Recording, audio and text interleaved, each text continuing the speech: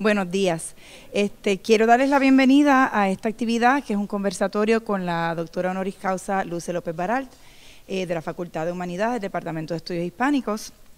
Como muchos de ustedes saben, la Facultad de Humanidades celebra este año su 75 aniversario y en ese marco hemos tenido una serie de actividades, ¿verdad?, académicas y culturales para celebrar el quehacer eh, de nuestra facultad. Eh, quiero en este momento agradecer la colaboración con la, biblioteca, el sistema de bibliotecas, la doctora Noraida Domínguez y el señor Amilcar Tirado por habernos facilitado este espacio, que es un espacio muy apropiado. Hemos decidido también sacar las actividades de la facultad, porque la Facultad de Humanidades se proyecta en todo el recinto. Y este también es un recinto académico y cultural como biblioteca. Quiero felicitar también al Departamento de Estudios Hispánicos por la coordinación de esta actividad y quiero darle la bienvenida a nuestras invitadas, la doctora María Teresa Narváez y la doctora Lupero López Baralt.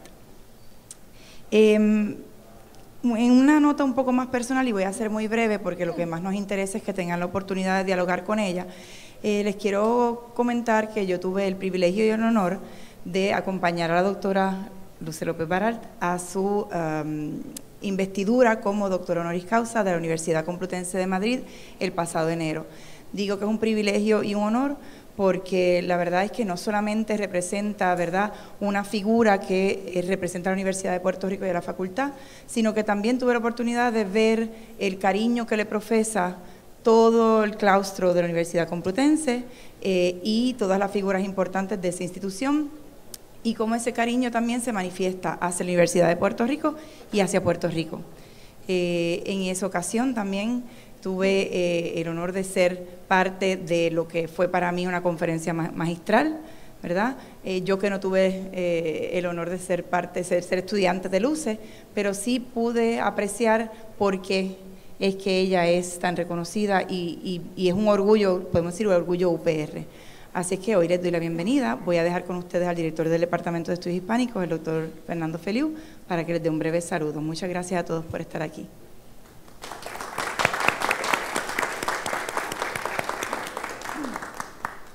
Buenos días. Yo me uno al saludo protocolar de la decana doctora Agnes Bosch. También quiero agradecerles al personal de la biblioteca por haber hecho posible la puesta a punto de esta actividad que siempre trae problemas técnicos de sonido, cualquier cosa, para que estamos, que es lo importante. ¿no? Eh, para mí también es un placer y un honor estar aquí con ustedes y junto a Luce López Baral, que acaba de recibir hace no, ni dos meses el, doctor, o el doctorado honoris causa por la Universidad Complutense de Madrid. En mi caso particular, es doblemente eh, simbólico estar aquí frente a ustedes porque no solamente Luce se jubiló hace poco el Departamento de Estudios Hispánicos, sino también porque yo sí fui, a diferencia de la decana, uno de los estudiantes de Luce. Yo tomé clase con ella ayer, ayer hace poco. Eh, y todavía, todavía el día de hoy, eh, me acuerdo casi palabra por palabra, digo casi porque no, no voy a exagerar, de las clases sobre San Juan de la, eh, San Juan de la Cruz. Fueron clases magistrales, que yo las tengo, es más, yo creo que mi examen de doctorado, cuando me preguntaron sobre, San Juan, eh, sobre San Juan yo prácticamente desempolvaba mi memoria, pues ¿qué me iba a decir a mí que ese estudiante que tomó clase con ella iba a estar aquí parado? Para agradecerle todo lo que ha hecho por la universidad. Eh, gracias por tu amistad, Luce, y gracias a Tere, que quién mejor que tú para hablar y presentar a Luce López Varal. O sea que como no me quieren ver a mí, afortunadamente, quieren ver a Luce López Varal, me callo y le cedo la palabra a la doctora Teresa Narváez.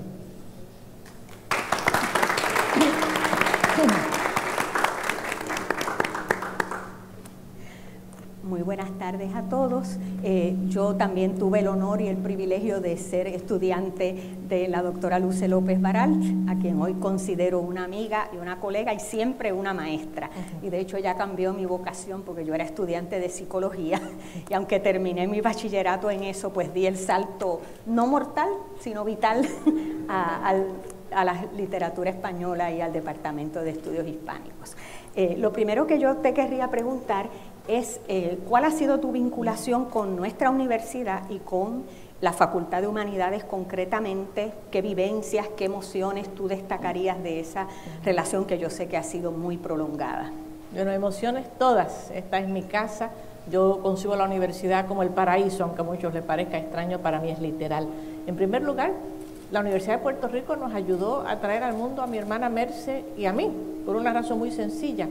Mi madre posó los ojos sobre nuestro padre en la escalera de Janet, aquí al lado.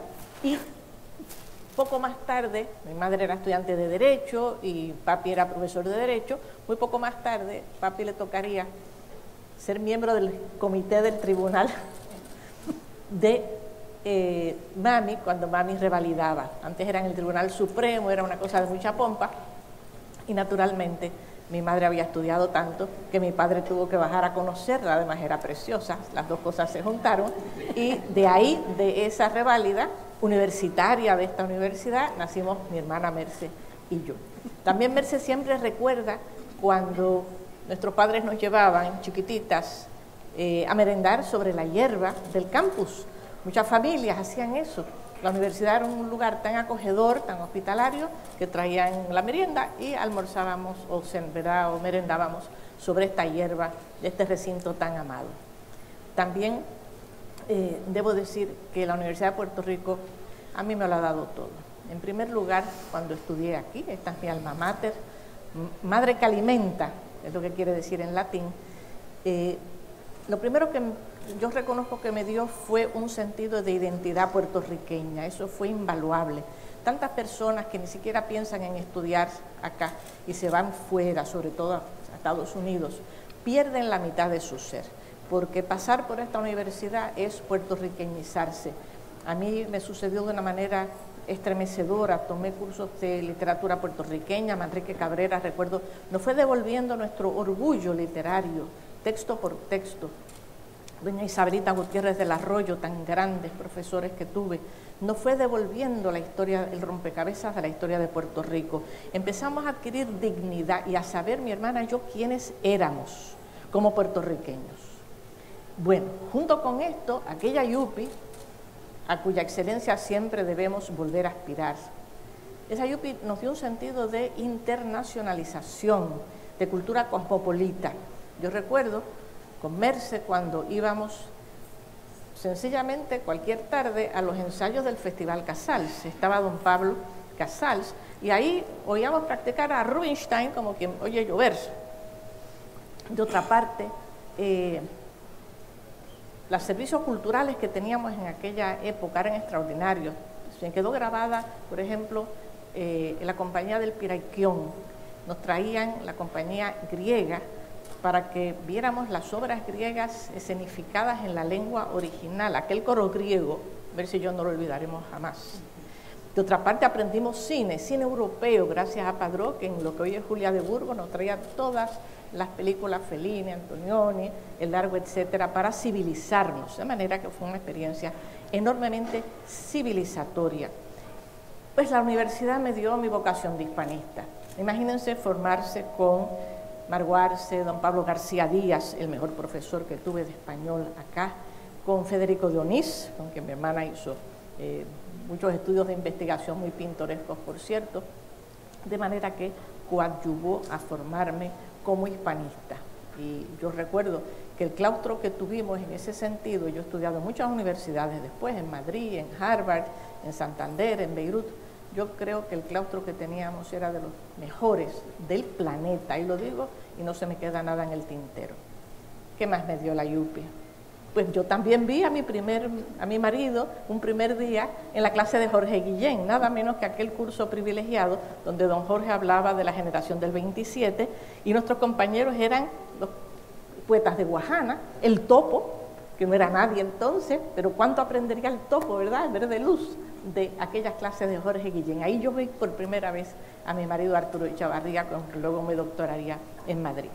¿Qué más me dio la universidad? Mis estudiantes, lo que más amo y atesoro. Esta criatura que está aquí a mi lado, una de las seres que más yo quiero en el mundo, y la universidad considero que ha sido uno de sus más grandes regalos. De manera que esa fue mi experiencia como estudiante de literatura en la Universidad de Puerto Rico, mi experiencia docente. Eso fue ya otra cosa, volver al paraíso. Después de muchas vueltas por el mundo, me abrió las puertas para nombrarme profesora. Aquella universidad era muy generosa, tenía un sentido de respeto a sí misma, tenía más recursos, sabía cómo bregar con su claustro y ayudarlo de verdad.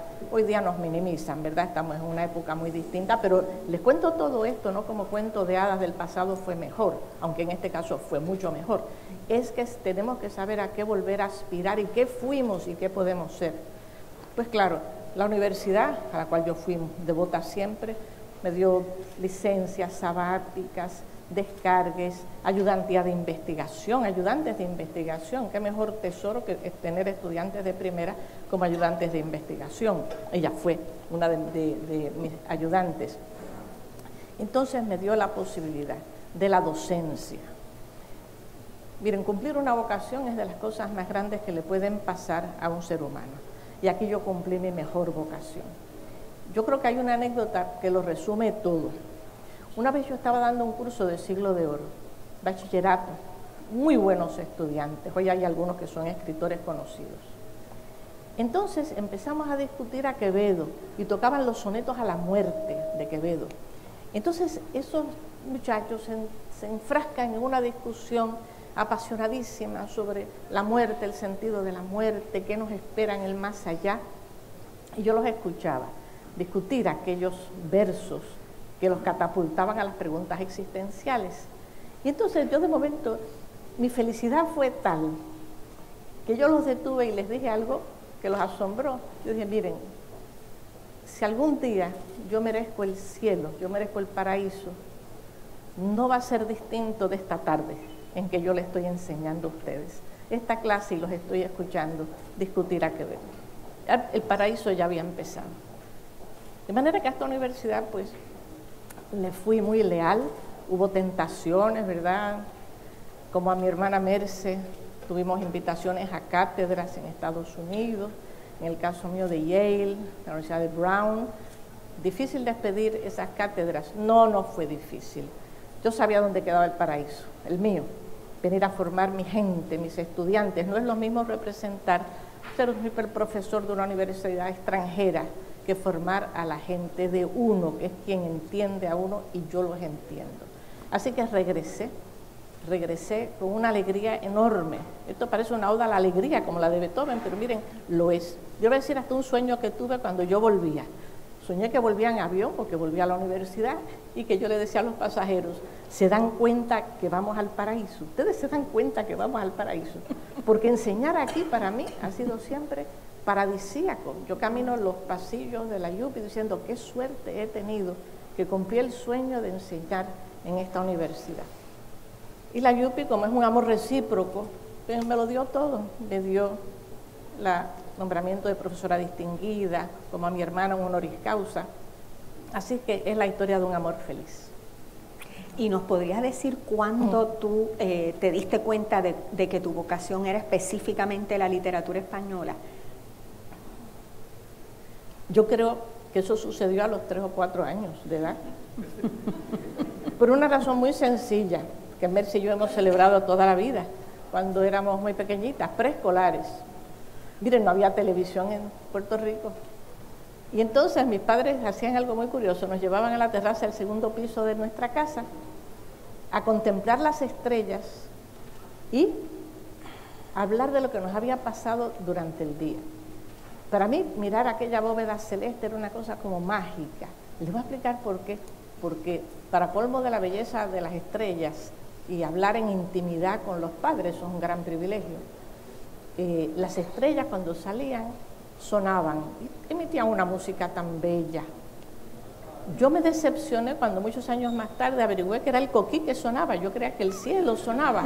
Es que yo tuve la música de las esferas desde muy niña, pero era una música, además de la música del paraíso de las estrellas era que nuestros padres, muy a menudo, estos dos abogados, eran letrados en el fondo, su gran vocación era poética, se decían versos uno al otro. Esa tradición se ha perdido. Ellos se sabían de memoria todo Y ahí venía la poesía de José Martí, la poesía de Pales Matos, que detonó los libros de mi hermana.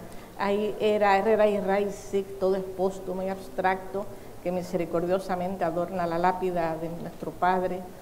Ahí era Rubén Darío, ahí era Becker, mucho Lorca, ahí experta en Lorca, de manera que estos versos iban sonando incluso desde casi antes de yo saber leer y de mi hermana.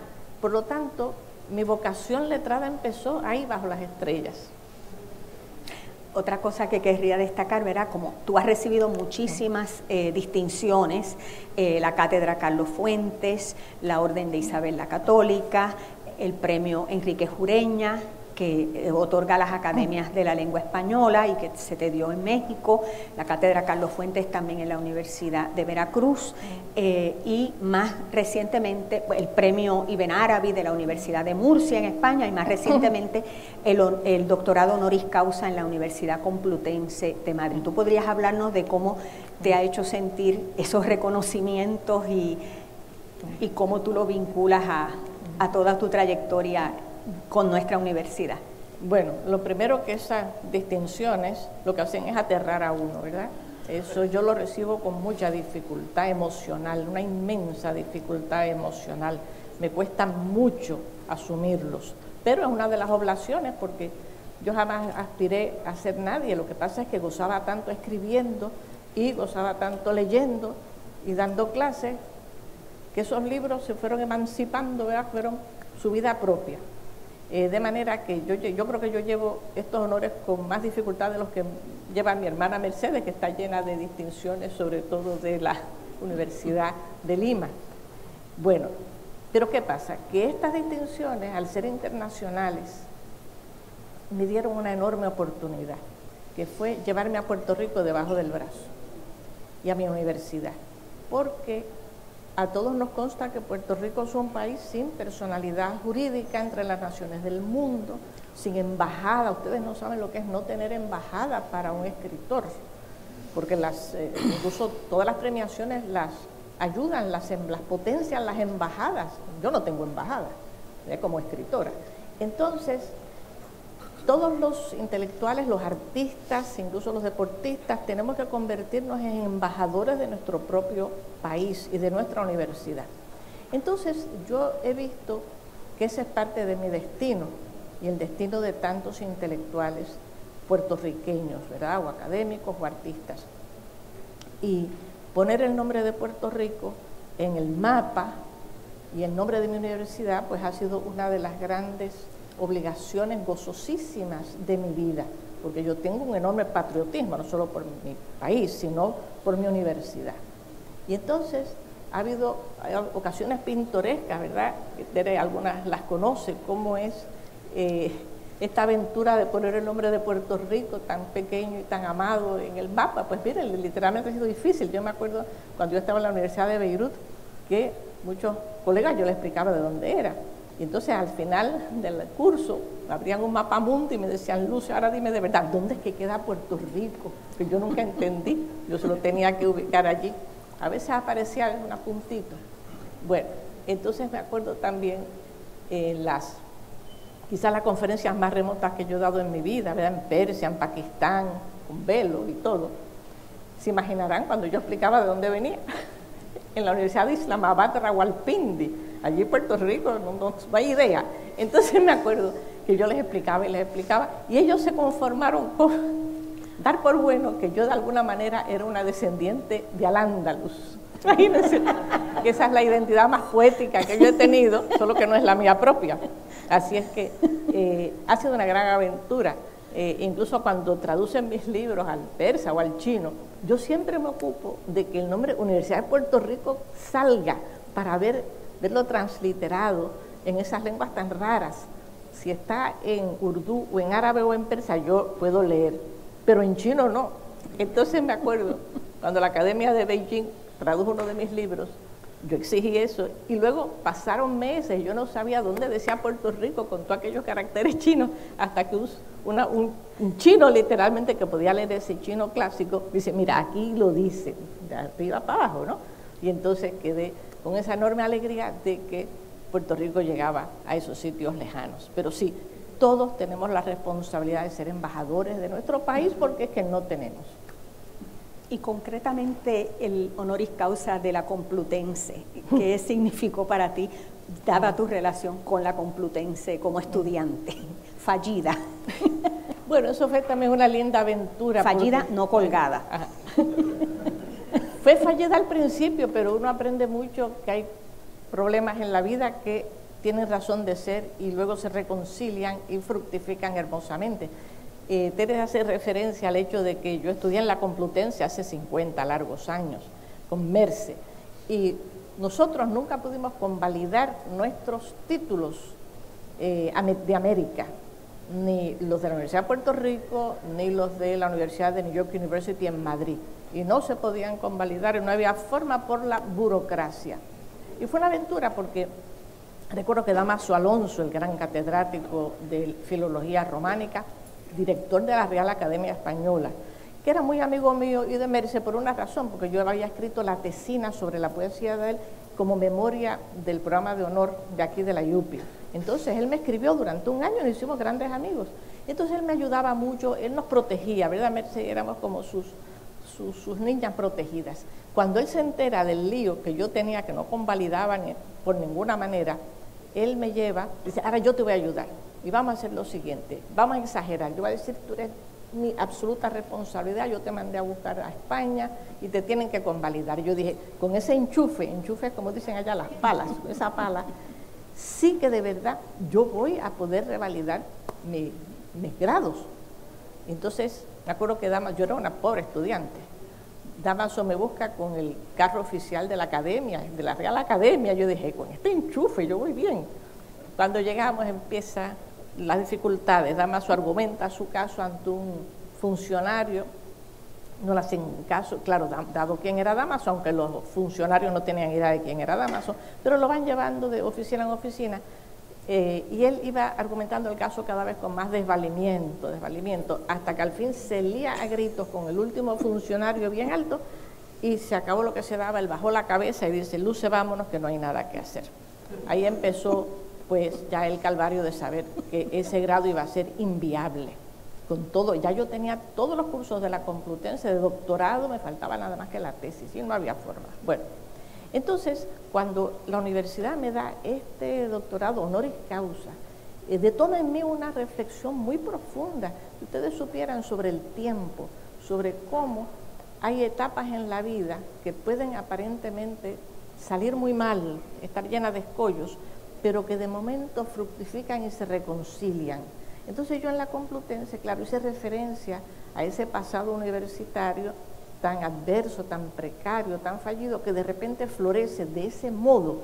Yo tuve que dar en el fondo gracias a, Dios y al destino de que Damaso no tuviera éxito porque yo no hubiera recibido el honoris causa. Pero otra de las cosas que hice fue alertar a mis colegas españoles que están en deuda con la Universidad de Puerto Rico, porque cuando la guerra civil el exilio español en términos del magisterio, el claustro de esa universidad y de otras, prácticamente se trasladó acá. Ustedes saben que por milla cuadrada Puerto Rico es el país que más ayudó a los exilados españoles de todo el mundo. Claro que México y Argentina eh, acogieron, pero nosotros aquí tuvimos a Casals junto con nada menos que Juan Ramón Jiménez, junto con Pedro Salinas, junto con María Zambrano, junto con Jorge Guillén, que nos visitaba a menudo, con María Zambrano, nada menos que con el maestro Rodrigo, autor del concierto de Aranjuez. Y por ahí seguimos, Federico de Onís, Jorge Enjuto, Aurora de Albornoz. Miren, no acabo. Fue una playa de figuras tal que la Complutense prácticamente intercambió su claustro con nosotros fuimos de la, universidad del exilio por excelencia. Y eso les conmovió mucho porque eh, el abrazo que Puerto Rico les dio a los exilados, en el fondo me lo devolvió a mí cuando me da ese honoris causa. Así que fue una, también un momento de reconciliación histórica. Y de otra parte, hablando de reconciliación, eh, mis especialidades son especialidades muy extrañas, ¿no? Literatura española, literatura árabe. Eso, aunque ustedes no lo crean, desde América lo vemos todo con unos ojos muy benévolos. Eso es muy eh, incómodo en España todavía. Pero eh, para mí ha sido motivo de una, una gran alegría que estos premios lo que signifiquen es dar por bueno un abrazo simbólico entre esas culturas. Eh, para mí mis estudios siempre han sido con ese afán de si España tuvo estas culturas en su propio seno peninsular, ¿cómo es posible que no las abracemos, las estudiemos, las reivindiquemos, las, miremos con misericordia? Entonces, para mí, por ejemplo, eh, que la Complutense me diera este honor implicaba ese abrazo, porque recibir esto es difícil, porque todos los departamentos tienen que ir defendiendo al candidato hasta que llega al decanato, hasta que llega rector, y eso duró como dos años. Pero me, auspiciaron, digamos, el departamento de árabe fue el primero y el de filología española. Así que ahí estaban de nuevo reconciliados. Yo siempre pensé el, la distinción de Isabel la Católica, ¿verdad? La, eh, esa, esa, distinción de, del rey Felipe VI con el premio Ibn Arabi era de nuevo esa reconciliación. Entonces yo pensé, caramba, pues mis libros han ayudado a que Isabel la Católica se abrace con Boabdil de Granada y con los judíos de Toledo y con los moriscos de Aragón. Entonces yo que miro con tanto amor ese estudio de diálogo, pues qué lindo que España, que yo sé que es incómodo para, para muchos intelectuales esos temas, pero qué lindo, ¿verdad?, que pudieran reconocer el abrazo en, mis libros. Bien, yo creo que sería bueno abrir la discusión, el comentario, si alguien quiere reaccionar, preguntar, eh, tienen alguna inquietud, eh, sería interesante que el público se expresara, ¿verdad?, sobre lo que hemos dicho o sobre otras cosas vinculadas a este tema y para la, la profesora distinguida. Buenos días a todos. Buenos días, distinguidas. Sí, quiero saber qué le impulsó a estudiar y explorar la literatura aljamiada. La literatura aljamiada. Bueno, pues esto es un cuento muy largo, pero lo tengo que abreviar. La estudié con María Teresa Narváez, la estudiamos por nuestra cuenta.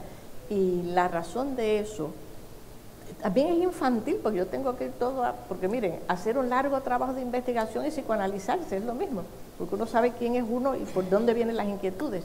A mí me interesó el mundo árabe desde que yo era niña, no me pregunten por qué, porque no tengo ni familia árabe, eh, ni conocíamos a árabes ni nada. Empecé a aprender el idioma árabe a los 15 años por mi cuenta, sin haberlo oído nunca.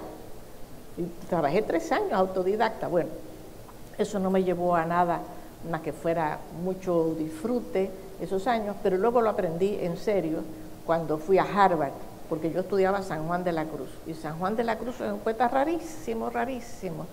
Sus símbolos son raros, el delirio poético que tiene es raro. Y me eh, mi director me dejó estudiarlo para que yo pudiera tratar de averiguar por qué era tan raro. Pero en eso vino una amiga de Bagdad a mi cuartito en, de estudiante en Harvard y me dice, Luce, todo lo que a ti te parece tan raro, a mí me es muy familiar porque es que la poesía sufí, el misticismo islámico es así, los mismos símbolos, el mismo delirio verbal que comentan en una prosa más rara que el poema y así. Y ahí me mandaron a Beirut a estudiar ya en serio, misticismo islámico, a empezar los rudimentos del árabe, que al fin, después de mil años, pues pude manejar en serio. Pero ¿por qué el aljamiado? Porque estos estudios comparatistas de por qué San Juan de la Cruz parece tan familiarizado con la literatura mística islámica, que lo antecede a él por muchos siglos, ¿por qué esta relación? ¿Cómo es posible en pleno siglo XVI? Miguel Asín Palacios, un arabista del siglo XIX al XX, empezó los estudios en este sentido y él pensó, tienen que ser los moriscos españoles del XVI que escribían bajo eh, anonimato y en la clandestinidad, porque ya estaba prohibida su religión. Ese debe ser el vínculo, sospechó el maestro arabista. Él muere el mismo año en que yo nací, una semana antes. Fíjense, él murió y yo a la semana nací. Yo creo que por allá hicimos un arreglo. Tú sigues por ahí. Entonces, no, tuve que eh, tirarme al cuerpo la literatura aljamiada. Aljamiada viene de al-yamir, que quiere decir lo extranjero, lo no árabe contrario a algarabía, que quiere decir lo árabe. Algarabía viene de ahí, algarabía, lo árabe. Entonces, tuvimos que empezar a plantearnos, mis estudiantes y yo, que había que aprenderse todo el árabe y leer para ver si ahí estaba el vínculo entre San Juan de la Cruz y los conocimientos islámicos. Y ahí vino una gran aventura, ¿verdad, Tere? Que aprendimos junto al aljamiado, el código aljamiado, si uno sabe árabe, lo ha aprendido el árabe, pues el código se aprende. Y lo aprendimos con una, en una revista de L.P. Harvey, en un artículo de un aljamiadista inglés, que luego conocimos y fuimos muy amigos de él. Y ahí aprendimos ese código y nos volvimos aljamiadistas. Terminamos volviendo a crear creamos una escuela de aljamiado, aquí está María Luisa Lugo, que es una extraordinaria aljamiadista con un libro muy famoso que yo he visto en los congresos, cómo se lo citan y a veces no saben que ella está adelante, pero se lo están citando delante de ella. Así que aquí tenemos una escuela de estudios aljamiados muy interesante porque el proceso de esta escritura es muy semejante de alguna manera a la fibra puertorriqueña, porque los moriscos escribían de cómo era el proceso de dejar de ser, la extinción de ellos como pueblo constituido, cómo vivir en la clandestinidad y que le arranquen los nombres, el idioma, los vestidos, las costumbres, rings a bell, ¿verdad? A los puertorriqueños. Así que armamos pues esta escuela que tan, de tanta alegría nos ha llenado a todos, a todos nosotros. De manera que, ¿por qué el aljamiado? Por esta razón, para tratar en primer lugar de ver por si San Juan de la Cruz tuvo algo que ver con los moriscos y a través de ellos se enteró del árabe, cosa que todavía estamos en proceso de explorar y ella está haciéndolo en sus libros más recientes. Eh, pero el aljamiado se hizo un amor ya por derecho propio.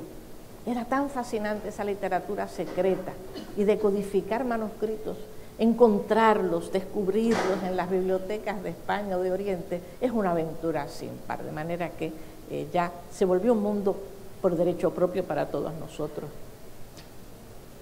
Sí.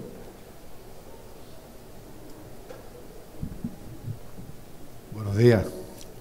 Hello. Eh, cuando uno oye a alguien que ha recibido muchos premios, pues eso de por sí es impresionante, ¿no? Y uno entonces se da cuenta del orgullo que tiene que tener hacia esas personas que han representado a Puerto Rico y se han ganado la admiración y el reconocimiento de la gente fuera de la, isla. Pero a pesar de eso, todas esas cosas son un poquito misteriosas, ¿no?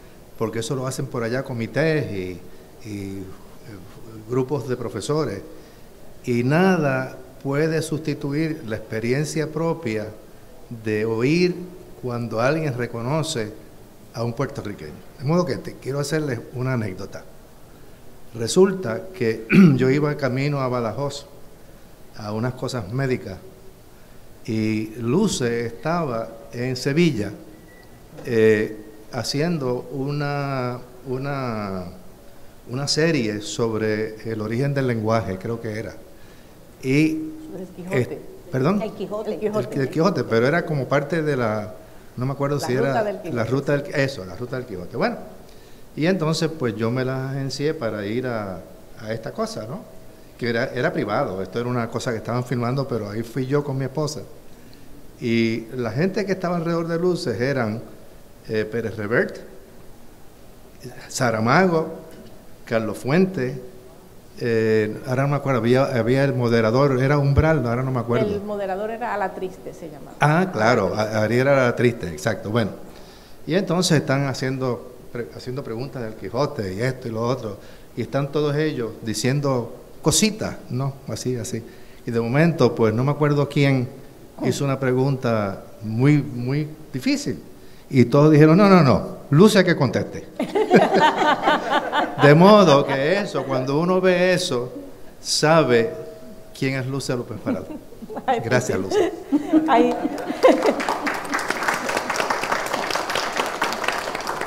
Mi, querido amigo, el, el, doctor Martínez Maldonado, que es famosísimo por derecho propio a nivel internacional, y eso me consta a mí, hay muchos niveles, no solo como científico, sino como escritor, pues compartimos aquella eh, experiencia tan bella. Es, esa experiencia a mí también me, dio mucho susto, porque me habían puesto de compañía, era una grabación sobre la ruta del Quijote, de televisión española y de eh, Caridad Sorondo. Entonces, pues me invitan con Saramago, el premio Nobel, Carlos Fuentes, no tengo que decir quién es, y con Pérez Reverte, el novelista español, yours truly, ¿verdad? Entonces, entonces el susto, porque decían Luce y sus muchachos, porque nos hicieron vivir en, Sevilla tres días juntos. Desayunábamos juntos, almorzábamos juntos, cenábamos juntos con los micrófonos y pásame la sal, Saramago, pues eso era, estaba siendo grabado.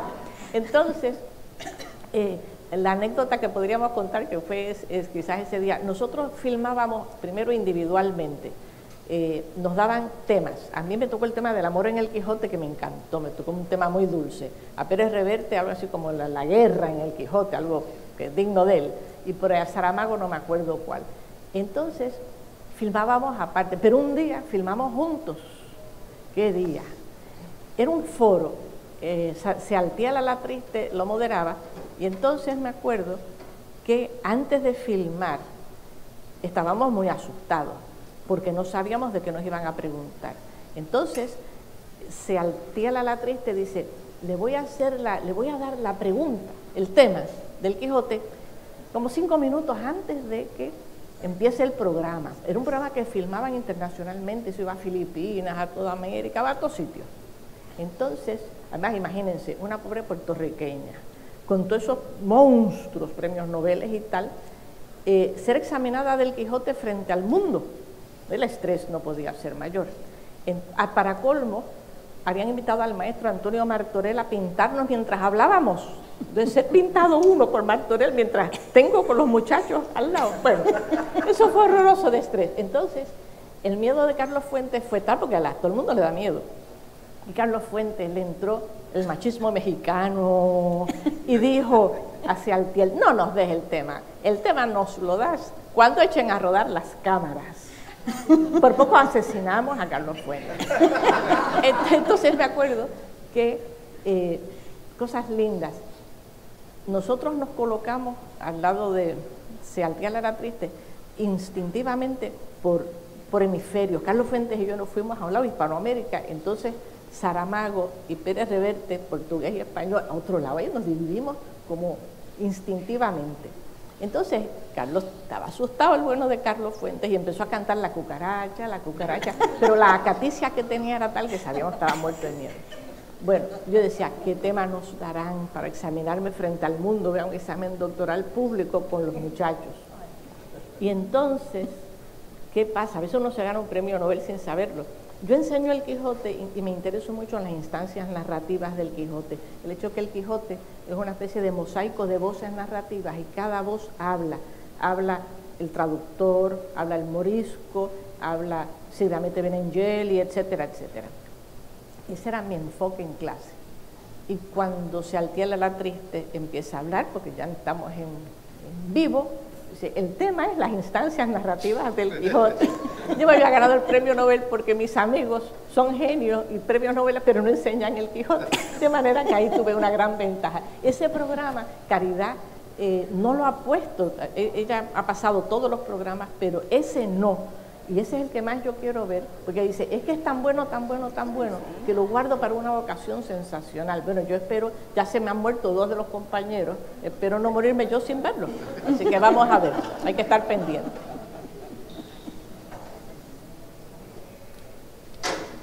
Buenos días. Yo quería recordar a Luce como maestra maravillosa, fabulosa. Parecía una especie de cherezada que llegaba todos los días al salón con una historia que nos develaba no solamente la realidad de España, sino también en parte la realidad de Puerto Rico. Recuerdo la vez que tuve que encerrarme una semana a leer la realidad histórica de España porque Luce era muy rigurosa. Yo tenía 22 años y tuve que definitivamente encerrarme para poder terminar con ese libro, que era un libro ¿verdad? de enjundia, pero que a la misma vez esa lectura junto con ese bagaje teórico que ella nos dio, acompañada de libros como The Arab Mind, The Jewish Mind, a Gilman, que lo estuvimos leyendo, nos dio el bagaje para entender la literatura española, no solamente desde una perspectiva heterodoxa, sino también entender nuestra propia cultura porque se nos había dado el relato de Castilla la Imperial. Y entonces Luce abrió puertas, y eso me parece que no se ha realzado lo suficiente, cómo, cómo eso repercutió en la forma de ver la historiografía misma, la historiografía española, la historiografía puertorriqueña. Así que Luce, yo te recuerdo siempre con tanto cariño, tanta emoción y tanta admiración. Gracias, de verdad, ella es otra de mis alumnas distinguidísimas. Estoy lleno de estudiantes, como ustedes ven. Eh, mencionas el libro de Américo Castro. Yo le debo mucho a Américo Castro. Cuando yo lo leí, como decía mi compañero Francisco Márquez Villanueva, fue como si un rayo me hubiera explotado a los pies. Ese libro yo no lo pude leer cuando estudiaba en España porque estaba prohibido. Yo estudiaba bajo Franco con Merce. Entonces, cuando voy a Harvard, ¿qué pasa? Que ahí están todos los alumnos de Américo Castro Steven Gilman, Juan Marichal, y, se, enseñaban a Américo Castro. Cuando yo leo eso, eh, de verdad mi, mi, mundo cambió porque yo entendí que España era un país mestizo y por lo tanto fraterno al nuestro. Yo me reconocí entonces en España por vez primera. España había tratado de ocultar porque tiene una historia incómoda que en su seno convivieron tres castas, ¿verdad? La cristiana, la judía y la musulmana y que la nación española que conocemos hoy se formó al calor de ese diálogo intercultural, interracial. Imagínense ustedes lo que es un país que se llamó en la Edad Media Hispania, se llamó Al-Ándalus y se llamó Sefarat. Tenía tres lenguas oficiales, tenía tres castas o razas distintas, tres religiones, tres grupos humanos. Imagínense nosotros que venimos de un continente mestizo, racial y culturalmente, ¿Cómo lo vamos a entender eso? A tirar puentes a esa realidad. Entonces me di cuenta que España, sin que nos lo hubieran dicho, era el país más fascinante de Europa. Y su literatura, por lo tanto, era la más fascinante.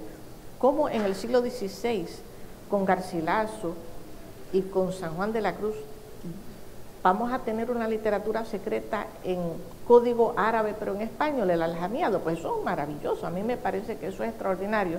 Los españoles lo toman a mal, pero desde América lo vemos con otros ojos, de manera con unos ojos de camaradería. Mucho más tarde yo eh, averiguaría que ese, ese, gran historiador, Américo Castro, que fue el primero que dijo, para entender a España hay que contar con su historia, su historia pasada entre tres culturas distintas en juego. Eso no es fácil, eso no es fácil, eso en América lo entendemos, pero los españoles quieren pensar que descienden de los visigodos y se acabó. Bueno, eh, ustedes saben que yo tardé mucho en saberlo, yo no lo sabía cuando eh, eh, dábamos las clases, que Américo Castro, lo que pasa es que nació en Brasil, nació, no, no, do Brasil.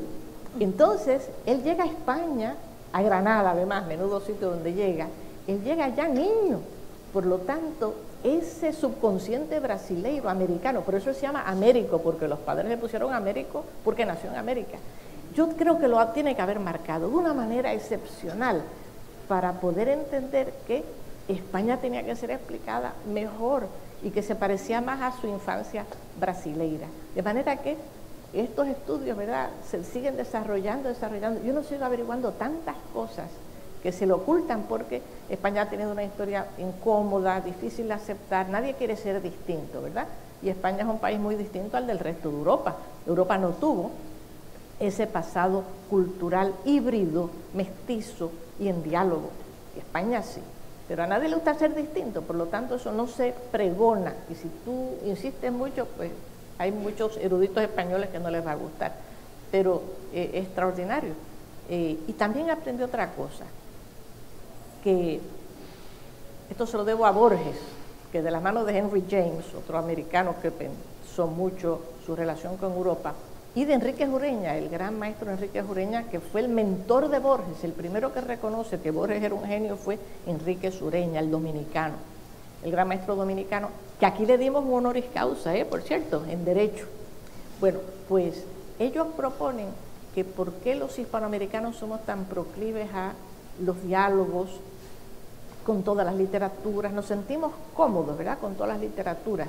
Eh, Borges en el escritor argentino y la tradición en ese ensayo estudia que los, los americanos de norte y sur, nosotros como no tenemos un centro de gravedad cultural tan fuerte como lo tienen Francia o España o Italia, ¿verdad? o Inglaterra, que tienen esa enorme cultura de milenios. Nosotros, como carecemos de esa gran tradición cultural, pues no tenemos la precaución, ni la beatería, ni el respeto excesivo y saqueamos todas las culturas. Nos da igual y las hacemos nuestras. Por eso un hombre como Borges habla de los heresiarcas, habla de la cábala, de los sufíes, de las sagas nórdicas, se lo saquea todo para sí. Y ustedes tienen Octavio Paz, ¿verdad? Que incorpora la gran cultura de la India a su propia obra. Si se han leído a Carlos Fuentes su Terra Nostra, ahí ustedes verán cómo Carlos saquea todo lo posible. Y el abigarramiento de García Márquez, que está, que si el caldeo, que si los gitanos, que todo. Nosotros, y Rubén Darío sería quizás el mejor ejemplo de un autor cosmopolita. Pues entonces, que nosotros aquí en Puerto Rico estemos estudiando el aljamiado, el árabe, misticismo comparado, eso es parte de ser de América. Y eso es interesante, cómo nosotros podemos aprovechar una indefensión. No tenemos una cultura tan, sol, tan, tan antigua, digamos, y tan sagrada como los europeos, pero por eso mismo tenemos la libertad de hacer todas las culturas nuestro patrimonio. De manera que si muchos libros van entrenándonos a nosotros a saber nuestros puntos fuertes ¿verdad? y aprovecharlos. Muy bien, ¿hay algún otro comentario? Sí, Emilio. Buenos días, Luce y, Tere. Mm, yo reconozco que ha sido fundadora de la Escuela de Alhamedistas en Puerto Rico. La ha fundado. Pero también sé que puedes eh, hablarnos un poco de la otra escuela que has creado, la de mistólogos, la de especialistas en la mística no somos pocos los que hemos pasado por tus manos privilegiadas, así que yo te tiraría cariñosamente de la lengua en esa dirección. Bueno, porque el doctor Emilio Báez es Exhibit One. Gran experto en misticismo. Emilio se ha formado, ¿verdad?, con tantos cursos eh, que tomamos y, yo he tenido la alegría de dirigir o codirigir tu tesis de maestría, de doctorado, la de honor la hicimos juntos. Eh, él tuvo en su tribunal de tesina de honor sobre Borges como místico, nada más que María Codama, que estaba por Puerto Rico y le echamos mano enseguida. Y después le hicimos una preciosa entrevista sobre las experiencias místicas que Borges aseguró haber tenido, que eran dos. Entonces sí, esa es otra de mis grandes pasiones. Todo esto comenzó por la mística, por San Juan de la Cruz y la mística comparada. Eh, y sí, hemos formado es otra gran alegría, ¿verdad?, para, esta, para nuestra universidad. una escuela de estudios místicos pues reconocida internacionalmente. Me acuerdo en Úbeda cuando tuvimos el centenario de San Juan, que vino un equipo, éramos por milla cuadrada de nuevo, más expertos en misticismo que en ningún otro país, porque creo que éramos siete o algo nueve, nueve. nueve. Éramos en un congreso pequeño, éramos nueve puertorriqueños expertos en mística. Además, qué conferencias dieron, fue una cosa bellísima. Entonces, el que estaba promoviendo el Congreso eh, dijo, bueno, pues la Escuela de Mística de Puerto Rico es la más importante, más importante que la de Italia, me acuerdo, nunca se olvida aquello, y que la de España actualmente. Así que sí, eso es otra, otra cosa muy misteriosa porque eso ha aprendido aquí también, ¿verdad? Estos, estos estudios.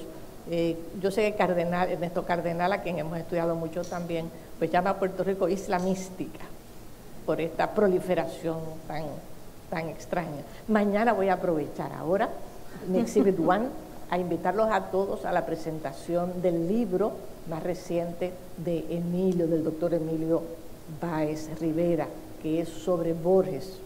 Eh, yo se lo voy a tener la, gran alegría de presentar y esto va a ser en Plaza Las Américas, en Casa Norberto, a las 7 de la noche. Quedan todos invitados para que vean qué alumno, que luego fue mi jefe como director de estudios hispánicos, pero también fue mi alumno y ahora es mi cómplice. Así que quedan todos invitados. Muy bien, pues muchas gracias a todos por su presencia y por su atención y, y nada, muy buenas tardes. Buenas tardes.